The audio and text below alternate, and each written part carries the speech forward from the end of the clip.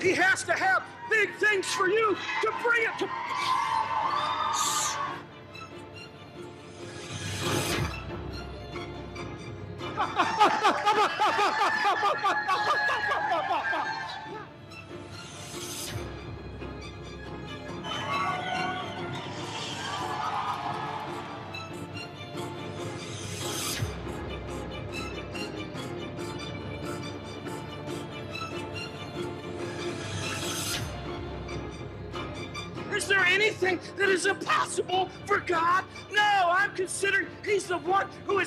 His word. He's the one who's given me His promises. He's the one that has to bring it to pass.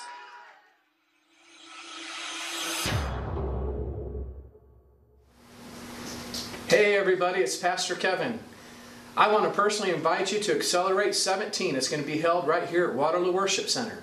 These meetings are going to be September 10th through the 15th.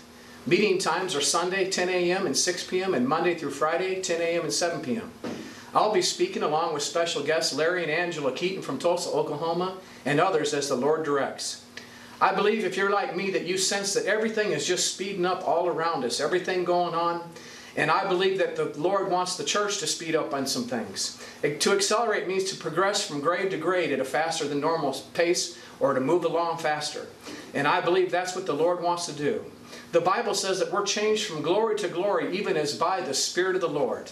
It could be that maybe you feel like you've been sidelined and you're not in your race any longer, or maybe you've just completely given up and dropped out. Then you especially need to be in these meetings because I believe you will be encouraged. You'll get back on the track and you're going to finish your course with joy. I look forward to seeing you. I've got some things that I feel like the Lord wants me to share this morning. I had spent a number of hours yesterday preparing and woke up about 3.30 this morning and had some things turned around on the inside of me and, and uh, laid in bed and got up a little before 6 and showered and came down here. And I just feel like he wants me to, uh, to speak these things out and to talk about these things. You know, in the body of Christ, I, I, am hearing so many different things. I'm seeing so many different things about, uh, about what's taking place, in particular, what we see has taken place in uh, Houston, Texas area. As Schaefer mentioned, um, you know, we partnered with Kadens Kloset when we did uh, Hope City, when we did Hope Fest uh, at the park here in the city. And uh, Kadens Kloset actually went down there. My son Zachary and his wife actually went along with some other team members. And this is their first trip. They're getting ready to go again. They've got a semi trailer that's being loaded uh, now with supplies uh, over in Cedar Falls that will be going down there in the next trip next week. But um, if you don't follow Kadens Kloset, it's K A D E N S Closet with a K, K L O S E T. Uh, you can see updates on there. And uh, God is moving and people are responding. And so I've been hearing all these, all these different things. You know, is this judgment? Is God judging America? Many people are saying God is judging America. And I can't say that I'm not, I can't say that I'm 100% convinced of that.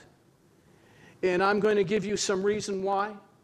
Why I, I, I'm not 100% beyond that kind of thinking. I believe that sin has entered into the world because of the fall of man.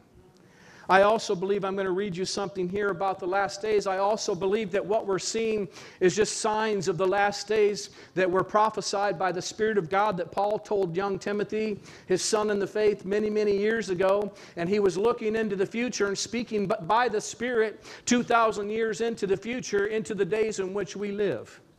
And so uh, these things should not catch us unaware, we, they should not catch us off guard. Amen. But what's important is that we as the church that we're prepared. And most importantly, we need to be prepared spiritually.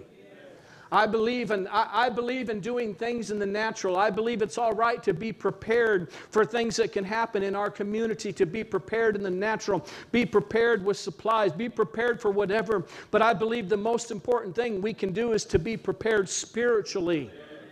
Amen. Because it's a strong spirit that will sustain a man in his infirmities. A strong spirit will take you things, take you through things that you could never get through on your own. A strong spirit will have you in contact with God and he can lead and guide and direct your path so that you're always in the right place at the right time and you're never in the wrong place at the wrong time.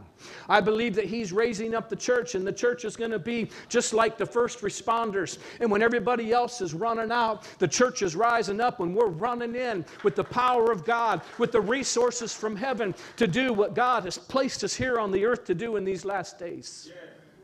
Amen? And so let's just look at this for a minute. In Genesis, the 18th chapter, beginning at the 16th verse, I want to read to you, this is in the, in the NLT version, I want to read to you an account of what took place with Abraham and God and the conversation they had concerning Sodom and Gomorrah. In Genesis 18, the 16th verse says this Then the men got up from their meal and looked out towards Sodom. As they left, Abraham went with them to send them on their way. Now, notice what God said Should I hide my plan from Abraham? The Lord asked. For Abraham will certainly become a great and mighty nation, and all the nations of the earth will be blessed through him. I have singled him out to do so that he will direct his sons and their families to keep the way of the Lord by doing what is right and just. Then I will do for Abraham all that I have promised. I think it's interesting. We talk about Abraham, but notice God singled Abraham out, and he knew something about Abraham. He knew that he would put in his children the way in which they should walk after the things of God. That was very important to God because he was looking for a covenant keeper. God is always a covenant keeper, but he wanted to find somebody he could make a covenant with that would remain faithful to God. And not only that, to pass down this pass down this knowledge of the Lord and his ways to his children and his children's children. So the Lord told Abraham, I have heard a great outcry from Sodom and Gomorrah because their sin is so flagrant. I am going to see if their actions are as wicked as, as I have heard. If not, I want to know. The other men turned and headed towards Sodom, but the Lord remained with Abraham. Abraham approached him and said, Will you sweep away both the righteous and the wicked? Suppose you find 50 righteous people living there in the city. Will you still sleep it away and not spare it for their sakes? Surely you wouldn't do such a thing, destroying the righteous along with the wicked? Why would you be treating the righteous and the wicked exactly the same? Surely you wouldn't do that. Should not the judge of all the earth do what is right? And the Lord replied, If I find 50 righteous people in Sodom, I will spare the entire city for their sake. Then Abraham spoke again, Since I have begun, let me speak further to my Lord, even though I am but dust and ashes. Suppose there are only 45 righteous people rather than 50. Will you destroy the whole city for a lack of five? And the Lord said, I will not destroy it if I find 45 righteous people there.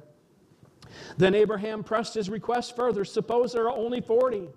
And the Lord replied, I will not destroy it for the sake of 40. Please don't be angry, my Lord, Abraham pleaded. Let me speak. Suppose only 30 righteous people are found. And the Lord replied, I will not destroy it if I find 30. Then Abraham said, Since I have dared to speak to the Lord, let me continue. Suppose there are only 20. And the Lord replied, Then I will not destroy it for the sake of the 20. Finally, Abraham said, Lord, please don't be angry with me if I speak one more time. Suppose only 10 are found there. And the Lord replied, Then I will not destroy it for the sake of 10. When the Lord had finished his conversation with Abraham, he went on his way, and Abraham returned to his tent. I think that's interesting because you see a picture of the heart of God, that He does not want to destroy the righteous with the wicked. You also see the heart of Abraham. Abraham's heart was God, if there's any righteous in this city, don't destroy them. We could say he was an intercessor, so to speak. He was going to God on the behalf of perhaps there's people there, Lord, that shouldn't be destroyed because they're not evil, they're righteous. And according to the word of God, God couldn't even find 10. I believe that if Abraham would have said, Lord, if there's one, will you save it for the one? I believe that the Lord would have done it. He's a loving God. And you have to understand, notice what it says that caught his attention. He heard the cry of sin. Sin cries out. There, I promise you that if you were in heaven at the throne of God, there is sin that cries out from our nation and all around the world, that sin has a cry to it. But God still has a heart for people. God loves mankind. God had a plan for mankind. And he saw how it got messed up in the garden when Adam and Eve disobeyed God and sin entered in. But let's go here further. We were talking about, I, have heard these different things about the destruction that's coming, that cities are being judged by this destruction, and then they, people want to point to certain things, you know, of why. And I've heard things like, uh, uh, uh, like Katrina. When Katrina hit, I heard a lot of people say this was the judgment of God, but then I started asking myself if this was the judgment of God, then why is Bourbon Street still intact? Why did the judgment of God miss out on some of the evil and yet the righteous were wiped out? Do you know that after Katrina hit, over 200 and some Bible believing, gospel preaching churches never opened their doors again? Do you think God would do that? Do you think that would be God's plan to do that, to wipe out the righteous? When you look at what's happening in Houston, and you know, we've, I've, I've heard these different things. I remember it was a year, year and a half ago that the mayor had come out, and uh, the, the mayor is, is, is, uh, is, is gay and, and at the time, and, and the mayor was basically asking the pastors, they were trying to pass this anti uh, discrimination thing, and they were asking the, paper, the pastor, she was trying to get a court subpoena that the pastors would have to bring in their messages that they are preaching from the pulpit. Boy, I wish I would have got, I wish I lived there and got subpoenaed. She would have loved my message. Amen. It would have been the word of God, and I would have told her how she could be saved. And so, and so, and, and, and so you had this come from. And then they had the largest gay parade. 700,000 people were in Houston for this gay parade. So people are saying this is all the judgment of God that's being poured out for what is going on. But was there not any righteous in Houston? Is there not righteous people in Houston? I know my son and his, his wife and the team, they're set up in a church parking lot right now. And, and in this, you saw this in New Orleans. Some of the ground zero places when this took place were churches that were opening up their doors and bringing in aid and bringing in supplies and showing the love of God. Let's go here a little bit further. Let's look at this part about God. Let's see another example in Exodus 12, the third verse. It says, Speak ye unto all the congregation of Israel, saying, In the tenth day of this month they shall take to them every man a lamb, according to the house of their fathers, a lamb for a house. And if the household be too little for the lamb, let him and his neighbor next to his house take it according to the number of souls. Every man according to his eating shall make your count for the lamb. Your lamb shall be without blemish, a male of the first year. You shall take it out from the sheep or from the goats, and you shall keep it up until the fourteenth day of the same month. And the whole assembly of the congregation of Israel shall kill it in the evening. And they shall take the blood and strike it on the two posts and on the upper doorposts of the houses wherein they shall eat. And they shall eat the flesh in that night, roast and fire, unleavened bread, and with bitter herbs they shall eat it. Eat not of it raw, nor sodden it all with water, but roast with fire his head and his legs, and with the purtenance thereof that remaineth thereof. And you shall not let any of it remain until morning. And thus you shall eat it with your loins girded, your shoes on your feet, your staff in your hand, and you shall eat it in haste. It is the Lord's Passover. Now, notice this. This is talking about the children of Israel who had been held captivity in Egypt. Now, let me just say this Egypt is a type of the world, it's a type of a world system, it's a picture of the world. The promised land is a picture of the new birth. Amen. Pharaoh is a type, he's a picture of the devil. And yet he had had God's people in captivity, and the Lord said, You're going out now. I'm leading you out. Do you know all the different things that had take place before him? But he gave them instruction concerning a lamb, and it needed to be a lamb without blemish. That lamb without blemish is a picture, if you would, or a type of Jesus Christ. Jesus Christ is the spotless lamb who was, slain, uh, who was slain from the foundation of the world. Aren't you glad that God had a plan? And then he said this He said, I want you to do something. Let's read this. And the blood shall be to you for a token upon the houses where you are. And when I see the blood, I will pass over you, and the plague shall not be upon you to destroy you when I smite the land of Egypt. And this day shall be unto you for a memorial, and you shall keep it a feast to the Lord throughout your generations. You shall keep it a feast by an ordinance forever. Seven days shall you eat unleavened bread, and even the first day you shall put away the leaven out of your house. For whosoever eateth leavened bread from the first day there shall be a holy convocation, and the seventh day there shall be a holy conviction or convocation, no manner of work shall be done in them. Save that, the feast of the unleavened bread, for the self same day have I brought your armies out of the land of Egypt. Therefore shall you observe this day in your generations by the ordinance forever. And the first month of the fourteenth day of the month at even, you shall eat unleavened bread until the one and twentieth day of the month at even. Seven days there shall be no unleavened bread found in your houses. Now look at the 21st verse. Then Moses called for all the elders of Israel and said unto them, Draw out and take you a lamb according to your families and kill the Passover. And you shall take a bunch of hyssop and dip it in the blood that is in the basin and strike the intel or the lintel and the two side posts with the blood that is in the basin, and none of you shall go out of the door of his house until morning, for the Lord will pass by through to smite the Egyptians. And when he sees the blood up on the, in, the lintel and on the two side posts, the Lord will pass over the door and will not, now notice this, will not suffer the destroyer to come into your houses to smite you. Now that is a picture of the blood of Jesus. He said, You take this blood from this spotless lamb, he said, and you, you, you, you put it on a hyssop and you put it around your lintels and your doorposts. And guess what? When the destroyer is passing by, when he sees the blood of Jesus, he's going to just have to keep walking. You know, people don't talk about this much like they used to back in the day. But back in the day, people had a lot more, they made much more ado about the blood of Jesus and they would plead the blood of Jesus. Mary and I, we plead the blood of Jesus. We get in our vehicle to go down the road, we plead the blood of Jesus. When we're going out of town, we plead the blood of Jesus over you, over our church, over our home, over our children, over our grandchildren, over our families, over our resources. We plead the blood of Jesus. Because when the enemy sees the blood, glory to God, he's got to pass on by. Notice he said, I will not allow the destroyer to come and to destroy you. Aren't you glad for the blood of Jesus? We should apply the blood of Jesus. I know uh, our children just started going back to school. You ought to be applying the blood of Jesus every day when they leave the house. I plead the blood of Jesus over you, young one. Amen. There's no weapon that's formed against you that is going to prosper. Now, Mark, the fourth chapter, we see this where Jesus was on the boat in the 35th verse. He was on his boat and he was getting ready to cross over to the other side. Do you remember this? He said, Let us go to the other side. And of course, they're on the way over to the other side. And on this journey over there, a storm came up. It was a windstorm.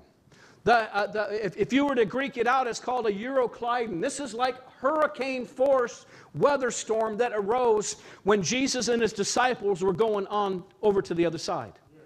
Now think of this Jesus, who was the Word, who became flesh, gave the Word let us go over to the other side. And so they're on their way over to the other side, and Jesus is down in the hinder part of the boat and he's taking a nap. Remember this? And so Jesus is down there sleeping. Here comes the storm, very, very violent storm. And all of a sudden, his disciples go down and they talk to Jesus and they wake him up and they say, Jesus, don't you care about us? Don't you care that we're perishing? And so Jesus got up, and now notice what Jesus did. Jesus got up, he got on the boat, and he rebuked the wind and the waves. Now, let me just ask you a question. If Jesus was God in the flesh, in the beginning was the Word, and the Word was God, and the Word became flesh and dwelt among us. If Jesus was God in the flesh, then would he have the authority given by God to rebuke the wind if God sent the wind? No, he'd be going against God. Jesus said, I never do anything unless I see my Father do it. I never say anything unless I've heard my Father say it. Jesus was acting out exactly what he was supposed to do. He rebuked the winds and the waves. So that tells me it was not God that sent the wind and the waves and the storm that could catch their life. It didn't come from God. You might say, well, where do you believe it came from? Well, I believe if you continue down, as soon as they got to the other side, when Jesus rebuked the storm, he also rebuked his disciples for not rebuking the storm. That means when you have a storm in your life, you need to rebuke it. You need to stand up and use the authority that God has given you and say, In the name of Jesus, you stop. And this is even in natural storms. I remember years ago, my dad was on oxygen and we needed to have electricity. And there was a storm and it was coming. And nowadays, thank God, you can turn on the TV and watch the radar and you can watch the storm come in. And I remember my mom was there, I was there, and we started rebuking this line. It was all orange and red, and it's coming right over Waterloo. Remember this? We started rebuking that storm, and the storm went like this. It spread apart, went right around Waterloo, and came back together. You said that's just a pipe dream. No, it's not. That's authority. Do you remember what Chip Brim shared in, in, in, when he was living in Branson several years ago? And they had something that never happens in Branson. They had a tornado. And he's, here comes a tornado bearing down on his neighborhood. And this tornado's coming right towards him. And he goes out in the front yard and he starts rebuking that tornado. He's saying, In the name of Jesus, you can't destroy. Who is it that comes to kill, steal, and destroy? Is it God? No, it's the thief that comes to steal, kill, and destroy. Jesus came that we might have life and have it more abundantly. So he's out there and he's rebuking the storm. And he actually said this, and I mean, not even one shingle's coming off my roof. Actual fact, you can go back, you can probably Google this and YouTube it. News came and interviewed him. Houses all around him devastated. Devastated, leveled.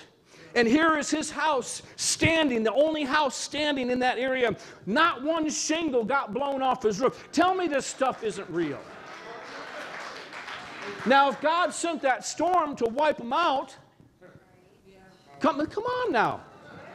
If God sent that storm to wipe them out, would he be in a place that he could exercise authority against the storm? He'd be going against the will of God if he did that. See, this is what I'm saying. This is why we need to we need to think through some of these things about how we just jump on every bandwagon that we see coming down the pike. Amen. Let's stick with God and let's stick with His Word. I believe that when Jesus, when He rebuked that wind and the wave, I believe here was the source of the storm. As soon as they got to the other side, there was this man who was demon possessed. And the Bible said, we call him Legion. And that man came and he met Jesus when he got off the boat. I'm just wondering, I mean, I'm just thinking, could it be that the enemy knew that Jesus was on the way?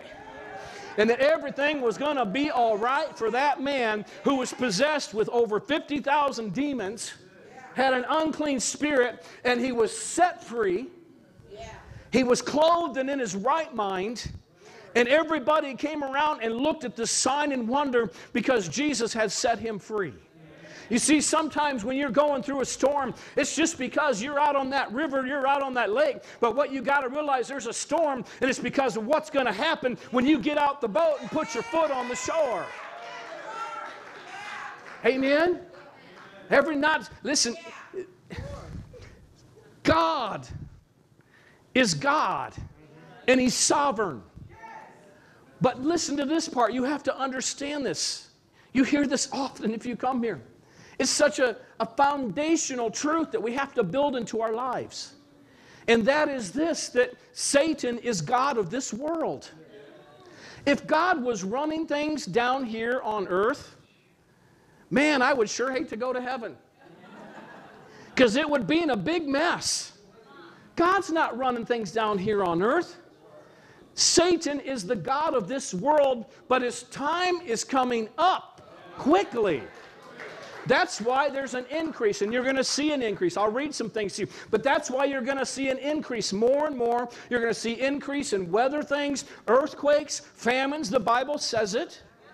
You're going to see an increase in demonic activity. The Bible says it.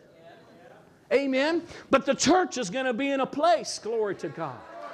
The church is going to be that city set on a hill. That church is going to be that light that is in darkness that dispels the darkness. The church is going to be a place where people can come and get help and comfort and deliverance and provision and help in every way. Thank God. Let's go here a little bit further. There's a curse on the earth, and it's because of Adam and Eve, they started it. People say, man, I wish Adam and Eve wouldn't have missed it. Well, I'd, like to see how you would have done. Amen. But they started this. God gave them dominion, He gave them authority. Isn't that right? He said He'd bless whatever they put their hand to. Adam messed up. Adam shouldn't have ever let that serpent in the garden like that. Amen. And Eve shouldn't have entertained it and shouldn't have fell for it. And then she shouldn't have been able to talk Adam into falling for the same thing. And of course, human nature, he gets caught and he blamed his wife. Some of you men are still doing that. Some of you women are doing that to your husbands. It's blame shifting. We like to do that. It came with the fall. It's not my fault. Not my fault, Lord. No, not my fault. It's them. It's the wife you gave me. It's my parents. It's my upbringing. It's whatever. That's, that's, that's not my fault. Amen. No, we're all held, we're all held accountable. And so you see this in Deuteronomy, the 28th chapter. I'm just going to read you a few verses here. And I'm going to start in the 15th chapter. It says, but it shall, or the 28th chapter, 15th verse, but it shall come to pass, if you do not obey the voice of the Lord your God, to observe carefully all his commandments and his statutes which I command you today, that all these curses will come upon you and overtake you. Now, these are curses I'm going to talk about because I hear Christians call what God calls curses blessings. Let me say that again. I've heard Christians call what God calls a curse blessings. I was so blessed when I was sick. God taught me so much. God didn't say that's a blessing. Let's look here. Cursed shall you be in the city, and cursed shall you be in the country. Cursed shall be your basket and your kneading bowl. Cursed shall be the fruit of your body and the produce of your land, the increase of your cattle and the offspring of your flocks. Cursed shall you be when you come in, and cursed shall you be when you go out. The Lord will send you cursing, confusion, and rebuke, and all that you set your hand to do until you are destroyed, until you perish quickly, because of the wickedness of your doings in which you have forsaken me. The Lord will make the plague cling to you until he has consumed you from the land which you are going to possess. The Lord will strike you with consumption, with fever, with inflammation, with severe burning fever, and with the sword, with scorching, and with mildew. They shall pursue you until you perish. That's all a cursing right there. Now, when it says that the Lord will curse, that the Lord will actually do it, you have to go back and look at the Hebrew. It doesn't say that the Lord will actually do it, it says that the Lord will permit it. We love to pray that prayer, Thy will be done on earth as it is in heaven. How many people believe that when you get to heaven, it's full of curses? How many believe when you get to heaven, there's sickness, there's poverty, there's famine, there's disease? None of us believe that. But yet, this is what he's talking about this cursing. But why did it start? Why did this cursing come? What allowed it? He said, You disobeyed my words. You disobeyed me. Let's look at the blessing. I want to end up on the right side here. First verse of, 20, of the 20th chapter. Now it shall come to pass, if you will diligently obey the voice of the Lord your God to observe carefully all his commandments which I command you today, that the Lord your God will set you high above all nations of the earth. And all these blessings shall come upon you and overtake you. How many like this? Because you obey the voice of the Lord your God. Blessed shall you be in the city, and blessed shall you be in the country. Blessed shall be the fruit of your body, the produce of your ground, the increase of your herds, and the increase of your cattle, and the offspring of your flocks. Blessed shall be your basket and your kneading bowl. Blessed shall you be when you come in. Blessed shall you be when you go out. The Lord will cause your enemies who rise up against you to be defeated before your face. They will come out against you one way and flee before you seven ways. The Lord will command the blessing on you in your storehouses and in all that you set your hand to, and he will bless bless you in the land which the Lord your God is giving you. That's a blessing right there. Now, notice this. So we look at this curse, the curse of sin. And we can't not talk about Galatians 3:13. I hear a lot of people, they they ask me about this. I've heard people, you know, different people talk about it. And a lot of people talk about curses that are in their family, generational curses that have been passed down from generation to generation. And let me just say this. Galatians 3:13 says Christ has redeemed you from the curse of the law. And I think instead of going and, and, and, and, and arguing points about if your family has a curse, I think one thing very often, it might not even necessarily be a curse, it's an environment in which people are raised up in. And that's all they know, and they act like their mom and dad. And if you don't think that's true, wait till you're a parent. You'll say things, you'll say, Gosh, did I really say that? That sounded just like my dad. That sounded just like my mom. And then you get this revelation I've become my dad. things I'll, I remember, I'll never say that to my child. I'll never be like that. And then you're just like doing that. Amen. So, so anyway, if Christ has redeemed us from the curse of the law, being made a curse for us, for cursed is he who hangs on the tree. That means he went to Calvary for us. He took our sin, he took the curse. So that the blessing of Abraham might come on the Gentiles through faith, right? So if God, if, if we've been redeemed from the curse, then we have to believe it. So that tells me that even if there was a generational curse, and let's say it came down through my family lineage, guess what? I got saved. That curse, that, that curse, that curse no longer has the power in Jesus' name. I have been redeemed from that. From that generation on, it can stop in the name of Jesus. One other scripture just to ponder in the Old Testament, it says the curse won't come causeless meaning there has to be a cause. There's a cause when the curse does come. And it's sin related. Let me just tell you that much right there. Let's go here a little bit further. So Christ redeemed us from the curse of the law, being made a curse for us. Aren't you glad? That means He took our place. That means we deserve the curse. That means we deserve the punishment. That means that we deserve the poverty. That means that we deserve the lack. That means that we deserve the sickness. But Christ redeemed us from every single one of them. He took our place, He became our substitute. Aren't you glad? You remember when you had a substitute teacher in school? Man, them days were rough for the substitutes lots of times. Every kid wanted to push it and see, you know, this is a new teacher. But you had a substitute that took your place. Think of that. God so loved us that He knew we deserved the punishment of our sin and our failing and our shortcomings, but yet He sent a substitute.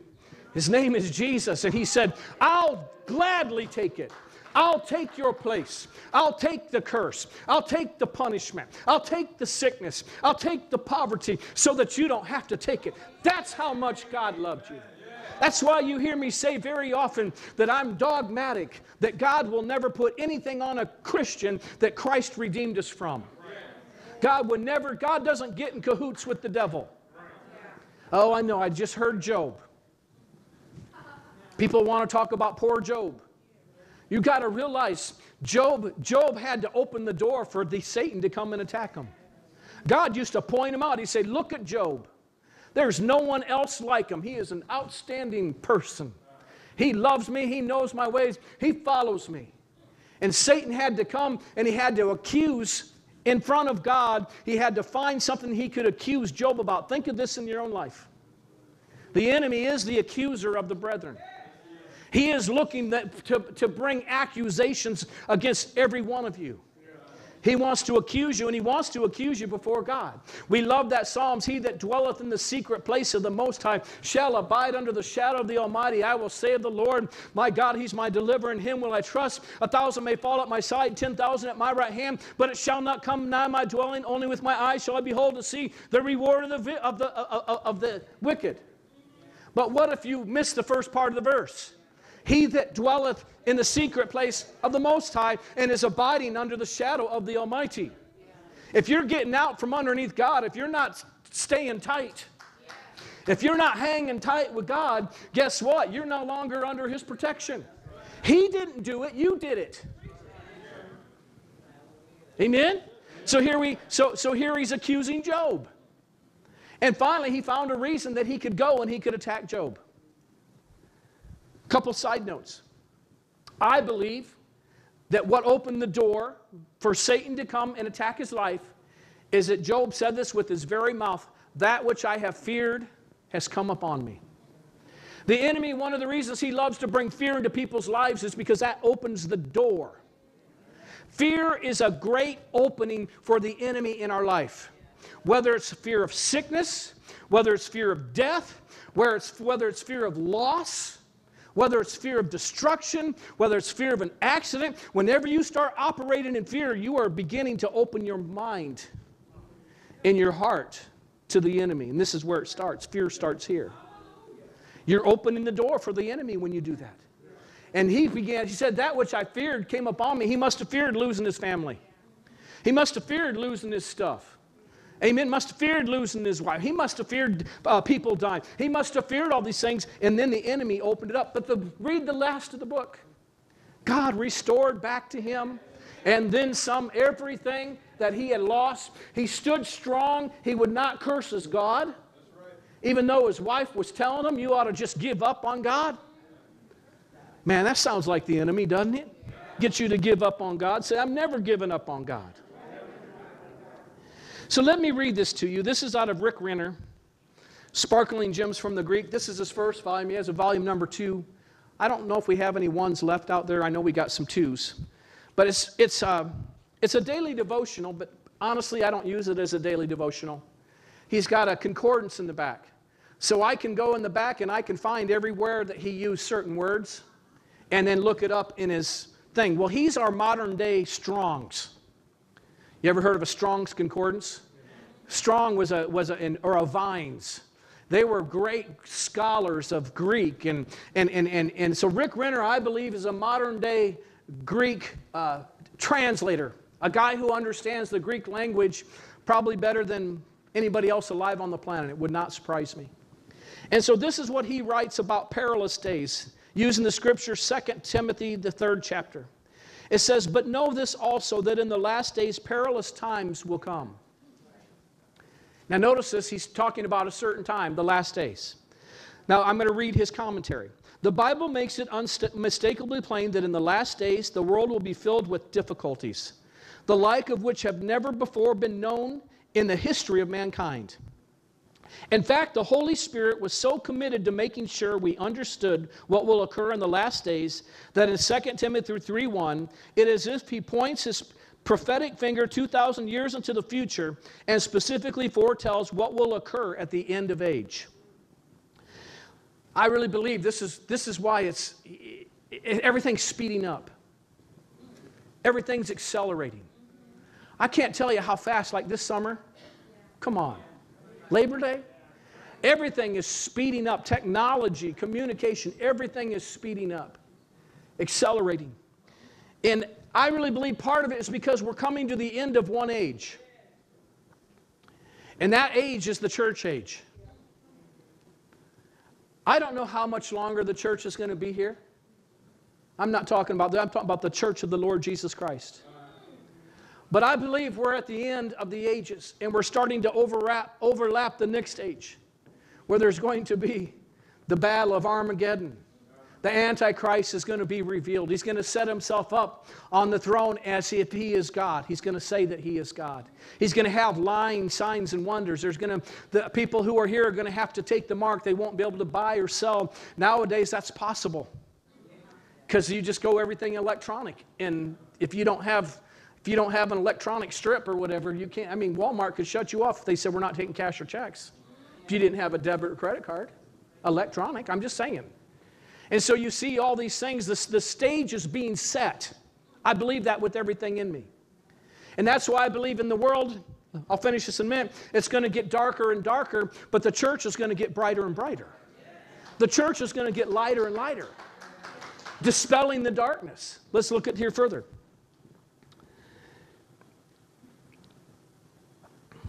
This know, this word know is the Greek word uh, the Greek word for knowledge. But in this verse, it is used in the present imperative tense, which means it is a strong command to recognize that there is something that must be known, must be recognized, and must be acknowledged. Having this knowledge is not optional, it's mandatory. The verse continues This know also that in the last days, the word last in this verse is from the word uh, estos, which points to the ultimate end of a thing, such as the last month of the year, the last week of the month, the last day of the week, or the very extreme end of the age. In other words, the word eschosis doesn't merely describe the last days in general, but the very last of the last days. It was used in classical Greek literature to depict a place furthest away, such as the very ends of the earth. In this sense, it also signifies something that is final.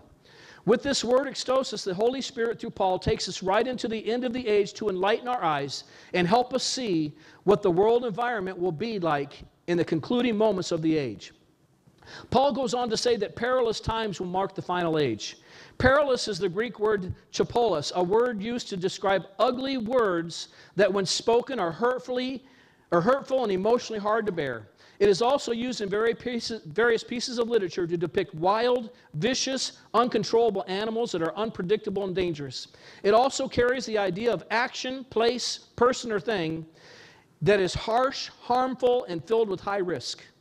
This is the very word used in Matthew 8 28 to portray the two demon possessed men who were so legendary in the country of the Gadarenes. It says, And when he was come to the other side into the country of the Gadarenes, there met him two possessed with devils coming out of the tombs, exceeding fierce, so that no man might pass by that way. The words exceeding, exceeding fierce is the same word, chapolos. This meant that the two demon possessed men were like wild, vicious, and uncontrollable animals and completely unpredictable and dangerous. Simply being in the region near these men placed one's life in jeopardy because these demonized men were chapolos, uh, harsh and harmful, presenting a high risk to anyone in the region. Taking the definitions of all these words into consideration, we can say it this way You emphatically must know what am I about to tell you. In the very last part of the last days, in the very end of the age, hurtful, harmful, dangerous, unpredictable, uncontrollable, high risk periods of time will come. Considering the events that have shaken the world in recent years, we shouldn't be shocked to hear that this is the meaning of 2 Timothy 3:1. Dangerous, harmful, high risk periods of time have already arrived. We are living in a generation that faces world threats no other generation has ever known.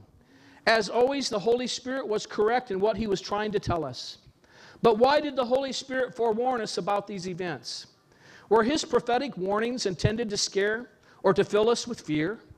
No, the Holy Spirit, as always, as he's always done, wanted to prepare God's people so they could be spiritually alert and ready to minister to people who suffer harm as a result of the events that will grip the world at the end of the age. See, what's he trying to do? Where does he want the church? He wants us in a place that we are in a place that we can minister to a world that is hurting. Romans 8 19 through 22 says this. And I'm going to read this scripture because, uh, you know, we're talking about some natural things that have happened. Natural phenomenon, for lack of a better word. The earthquakes, um, hurricanes, uh, weather swings, temperatures, flooding, all these things that we're seeing happening. But have you ever thought about this in Romans, the eighth chapter? It says, For all creation is waiting eagerly for the future day when God will reveal who his children really are. Now, who did he say is waiting? All creation. Now, what is all creation? It, it includes people, it includes animals, it includes mountains, it includes waters, oceans, it includes all things that have been created by God. It includes every one of those things. Now, think of this all creation is waiting.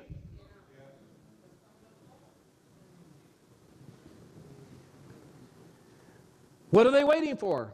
For the future day when God will reveal who his children really are.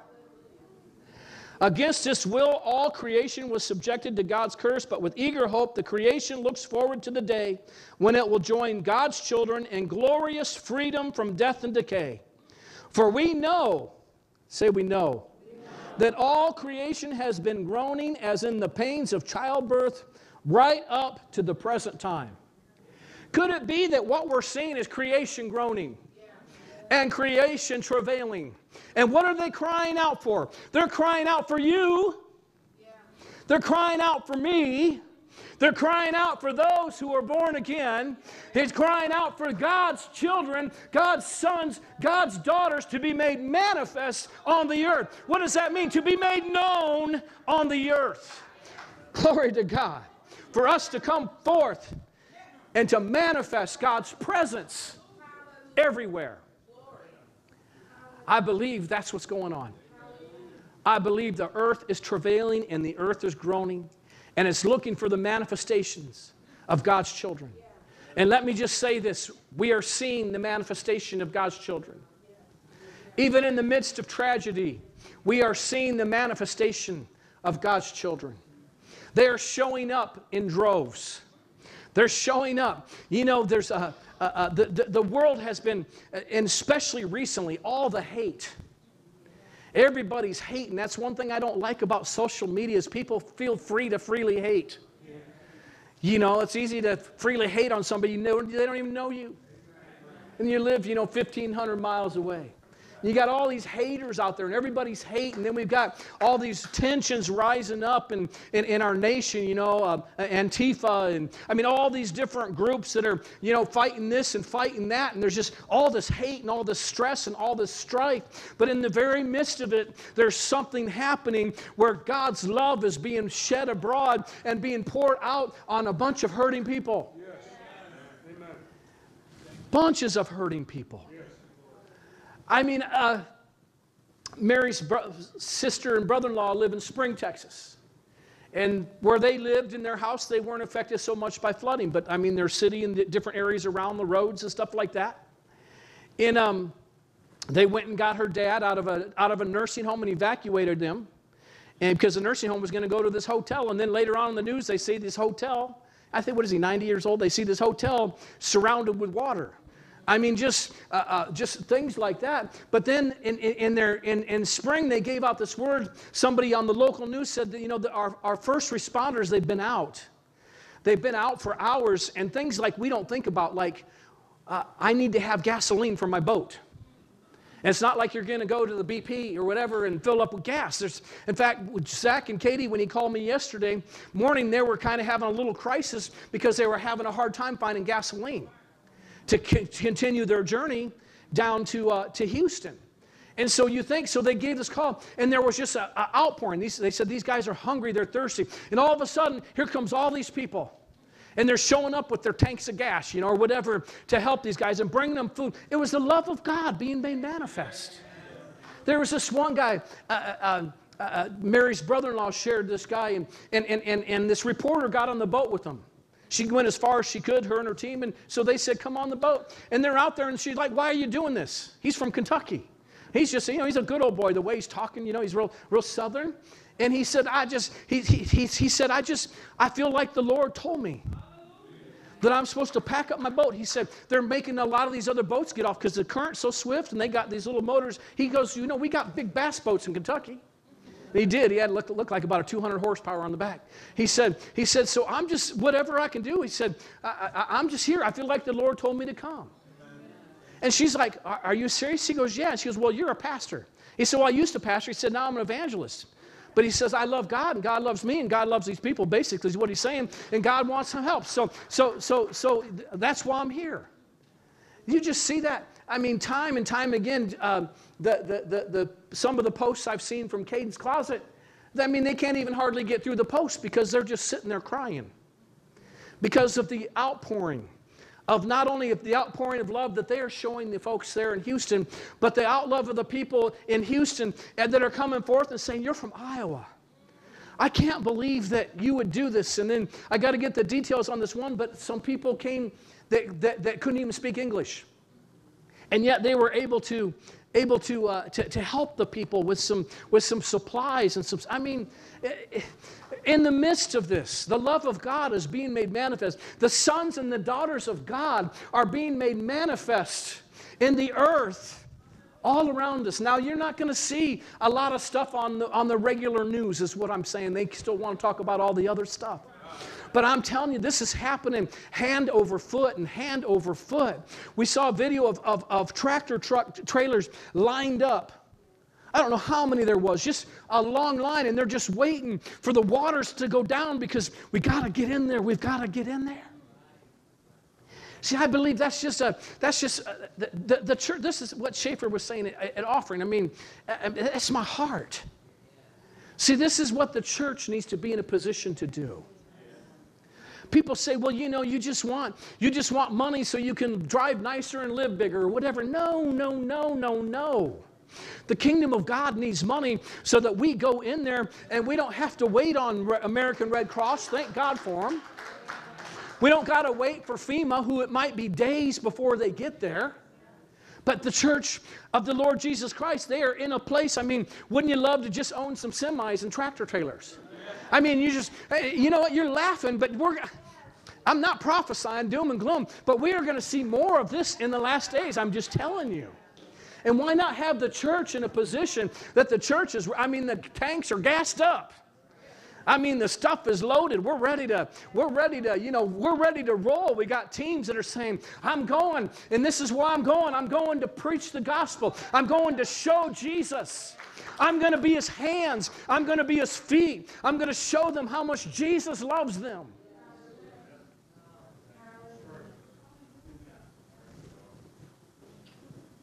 Schaefer and I were talking earlier today, and you realize it's going to be years. It'll be years before they get stuff rebuilt. There will be businesses that won't even rebuild, they'll go out of business. Think of these small business owners that are already down there and they've lost everything. They can't afford to pay their workers to not come to work, not like a large corporation can. I mean, I mean, just think, think how this just multiplies, how big this gets. Schaefer was telling me he went to New Orleans how many years after the a year after a year after Katrina and it still looked devastated. And he was talking even big box retailers, Home Depots and stuff never even opened again. You see, there'll be people who will leave that area. What else are they going to do? He was telling FEMA, FEMA can take a year. Is that right? FEMA can take a year to even make a settlement with you. What do you, what do, you do for that year? Where do you live? A lot of people were bashing people, you know, why didn't you leave? But have you ever thought about where would they go? Think of that. Where, where would they go? I mean, go evacuate to where? I mean, do you have family? Maybe family lives high and dry. Well, that's fine, but how many people don't have money? They can go check into a hotel. And if they could check into a hotel, would they find a room at the inn? It'd be like Jesus. I mean, no room at the inn. I mean, just think, see, we, we, our minds don't, you know, people want to bash everybody, but you weren't down there living it. Amen. But we can live it. We can live the love of God. We can help these people. And I've, I, I believe this, we've, we've heard it for years, but I believe that what you're going to see in the heartland is that you're going to see the heartland begin to grow more and more as you see more and more natural disasters happen on the coasts. I'm just saying, I believe that they're going to, they're going to come, they're going to come things that cities won't even hardly begin to rebuild. Just devastation. Gets quiet when you talk like this. But you know what that means? It means people are going to move. Iowa. Is this heaven? No, it's Iowa. Remember that movie? but it'll be like heaven, and we'll have heaven on earth. Amen. So I want us to I want us to be the church, and and you know you can still get involved. Here locally, we're supporting uh, Kadens Kloset, but you you do what God wants you to do. But I know you can go online, you can donate to them. Uh, you can take stuff out to their trailer. It's at uh, Candeo Church out on where Heartland Vineyard used to be. They got a semi trailer there, maybe more than one now. And they're looking, they're, they're not even looking so much for clothes, they're looking for cleaning supplies and water and water and food. What is it? Canned food, non perishable stuff. And so, I mean, uh, it's, it's, it's dire. But yet we got people that will go. And not just this, not just that organization. There's many, many wonderful organizations. I, I really, my heart beats more with Christian organizations. You know, they're doing it because I believe that, that uh, they're sharing the gospel with the people too giving them good news, giving them hope. I mean, I just, you know, we can sit here and I just can't imagine how hopeless that would feel. Hopeless. Everything gone. People got out with a garbage bag with whatever. And they got out and they're going to go back to total destruction. Homes being bulldozed. So let's do this before we go. Many of you probably don't know this, but Donald Trump, President Donald Trump, has made a proclamation for Sunday September 3rd, which is today, to be a national day of prayer. Now, whether you believe with him, b- believe in his politics or not, I think it's significant when any president will come and proclaim a national day of prayer. And I think it would be good as a church that we pray. And he particularly, the governor of Texas also proclaimed for the state of Texas a national day of prayer. And I think, uh, could it be, I'm just going to say, could it be that this is the scratching of a great awakening? Could it be? Could it be that things like this is causes us to, you know, the same? Some people don't look up until they're on their back. Could this, could this be? I mean, I don't believe God did it, but I believe God can make lemonade out of lemons. Amen. And could this, could this be when you have our, the, the president of our nation standing forth and saying, let's pray. We need to pray. We need to pray for Texas. We need to pray for Louisiana. We need to pray for the first responders. We need to pray for the victims. People have lost loved ones. Uh, we need to pray for the, the, the, provision to get to the people, the help to get to the people. Uh, Hi, it's Miss Mary. I want to invite you to Accelerate Kids. While they are having main service at Accelerate 17, we're going to have an action-packed weekend here.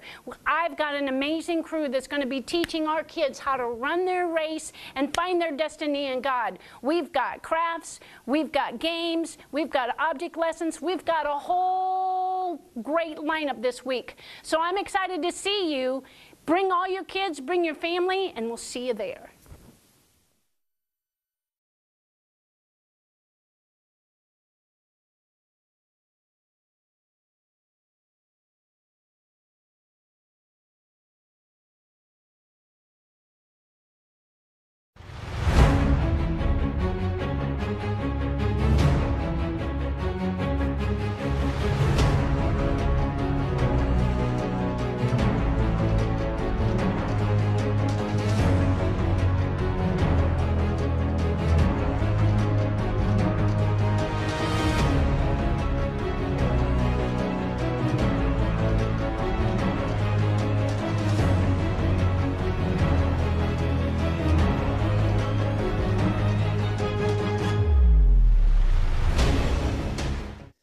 Thank you for watching today's broadcast.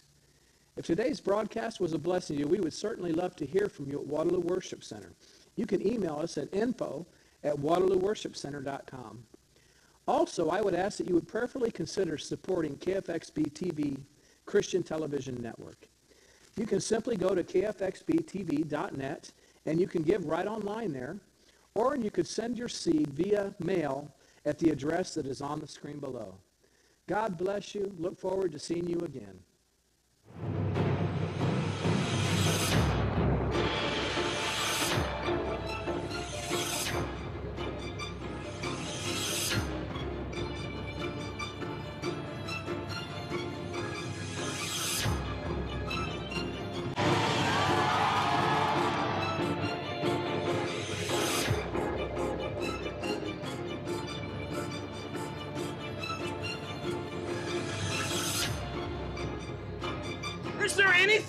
Is impossible for God? No, I'm considered He's the one who has given me His word. He's the one who's given me His promises. He's the one that has to bring it to pass.